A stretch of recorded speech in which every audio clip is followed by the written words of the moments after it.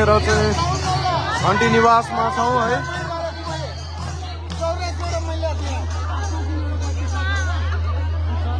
हेर्न सक्नुहुन्छ यतिखेर हामी घन्टी निवासमा छौँ।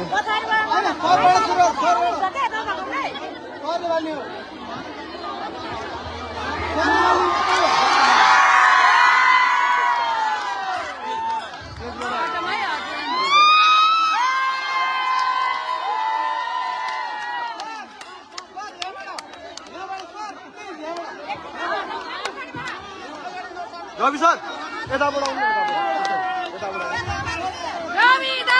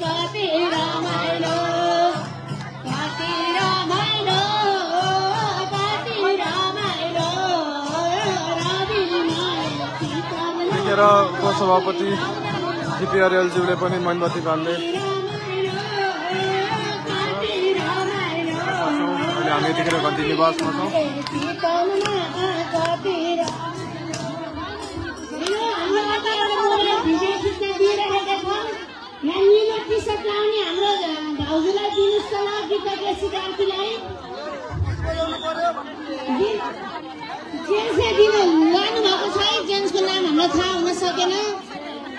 ल मोबाइल मोबाइल पकाट त बनाइदिनुहोस् प्लिज मोबाइल है मोबाइल हाम्रो मोबाइल भिडियो खिच्न दिइरहेको छ।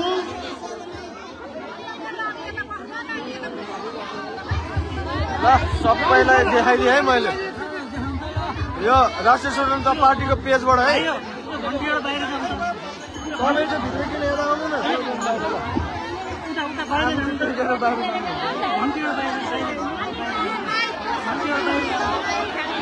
यो साथी हुन दाइ होइन तपाईँ बाहिर। कहाँ यहाँ पेलेर बस्ने यहाँ हेर्नु त बताहरूलाई तपाईँ चाहिँ आउनु न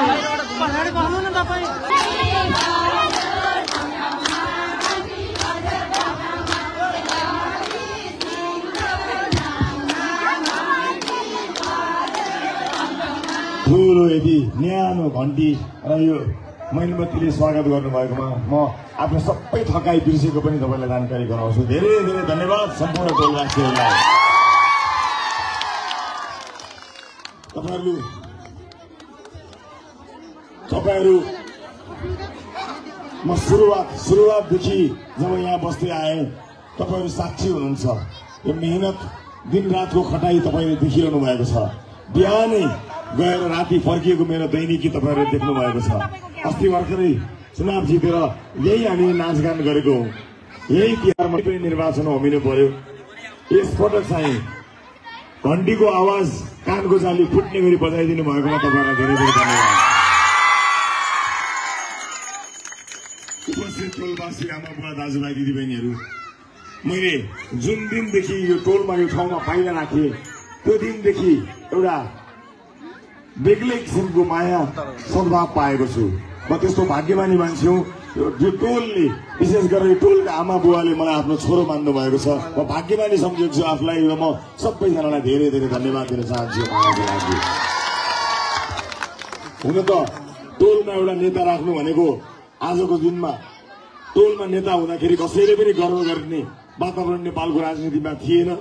तर आज यो टोलमा एउटा राजनीतिमा लागेको मान्छेलाई यसरी फुल मालाले स्वागत गरेर घर अगाडि चोकमा घन्टी बनाएर र बजाएर जुन स्वागत गर्नुभएको छ नेपालको राजनीतिको इतिहासमा यो एउटा नौलो उदाहरण हो र यो हाम्रो टोलले देखाएको छ। टोलवासीहरूलाई धेरै धन्यवाद चाहन्छु। उपस्थित आमा बुवा दाजुभाइ दिदीबहिनीहरू दिनभरि विभिन्न ठाउँको र्याली र निरन्तरको चुनावी भ्रमणहरूले गर्दा यहाँले देख्नु भएको छ कति थाकेको छु भएर तर यो थकाइको बिचमा पनि तपाईँको अनुहारमा जब उज्यालो देख्छु मैले आफ्नो थकाइ सबै बिर्सिएको छु र तपाईँको खुसीको लागि म निरन्तर काम गरिरहेछु। चितवनवासीको खुसीको लागि देशको खुसीको लागि म निरन्तर काम गर्नेछु म यति बाचा गर्न चाहन्छु। उपस्थित आमा बुवा दाजुभाइ दिदीबहिनीहरू अब यो एक वर्ष म योजना बनाउनमा व्यस्त हुन्छु। मैले अघि एउटा सभामा पनि भने यो एक वर्ष हाम्रो क्षेत्रको योजनाको लागि म व्यस्त हुन्छु।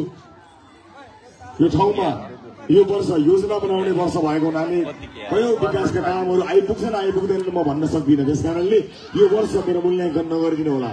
मलाई एक वर्ष काम गर्न जसरी होमवर्क भइन्छ जसरी तयारी भनिन्छ म एक वर्ष तयारी गर्न चाहन्छु। यो पाँच महिना खेर गयो तर पनि जति समय हामी सरकारमा रह्यौँ तपाईँले देख्नुभयो तपाईँहरूले गर्व गर्ने काम गर्यौँ हामीले काहीँ पनि तपाईँको सिट लिएर आउने काम गरेनौँ। त्यसैले म यहाँहरूलाई बताउन चाहन्छु कि यो एक वर्ष असाध्य मेहनत गरेर काम गर्नु छ र त्यसपछि आउँदो पाँच वर्षको लागि एउटा बाटो बनाउनु पर्ने छ। त्यो बाटोको सुरुवात त्यो इतिहास लेख्ने काम हामीले यो ठाउँबाट गऱ्यौँ। त्यसमा तपाईँले सघाउनु भयो यहाँहरूले मद्दत गर्नुभयो। म यहाँलाई धेरै धेरै धन्यवाद दिन चाहन्छु। कुनै दिन तपाईँलाई गर्व हुनेछ कि हाम्रो छोरो हाम्रो भाइ हाम्रो दाई यही टोलमा ऊ यही घरमा बस्थ्यो यहीँबाट विकास र समृद्धिको यात्रा सुरु भएको भनेर तपाईँलाई गर्व गर्न सक्ने मान्छे भएको सुनेछु